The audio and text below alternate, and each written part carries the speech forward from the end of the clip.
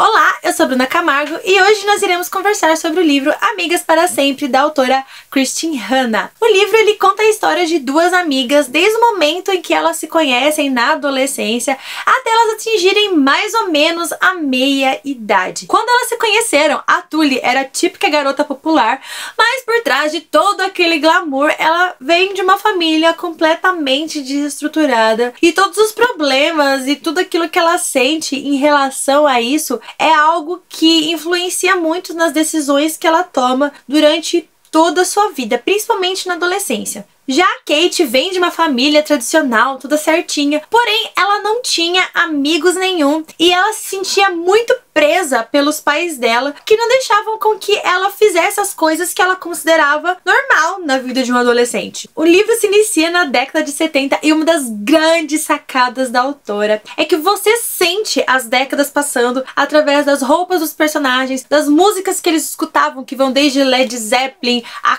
Queen, Madonna, Whitney Houston, pequenos elementos que fazem com que você se aproxime ainda mais do livro, daquele período histórico, e ele ambienta tudo e!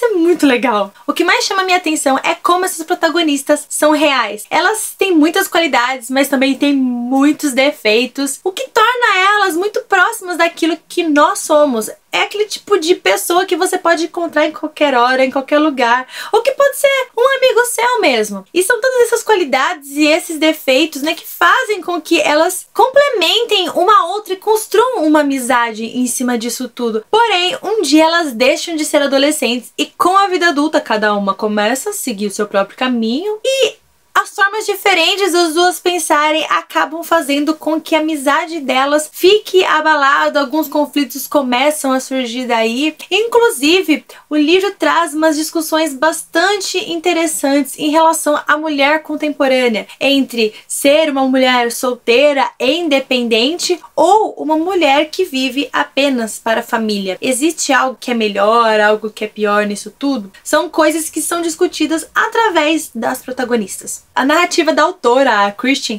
é muito gostosa de se ler. Em alguns momentos chega a ser até poética. E eu amei o fato de que em algumas coisas os personagens amadurecem ao longo dos anos, em outras não, porque isso apenas os tornou mais palpáveis para mim. Eu comecei lendo esse livro rindo e terminei ele soluçando, mas foi uma coisa meio risos entre lágrimas, algo assim. e espero que vocês tenham gostado dessa dica. Boas leituras para todo mundo